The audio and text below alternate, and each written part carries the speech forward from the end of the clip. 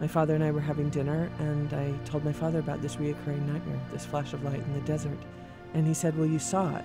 And I said, Saw what? And he said, We were driving back to Utah from California. It was September 7th, 1957. We were heading toward Las Vegas, and this flash of light appeared. I thought the oil tanker in front of us had blown up. We pulled over, and rising from the desert was this golden stemmed cloud, the mushroom, the atomic bomb.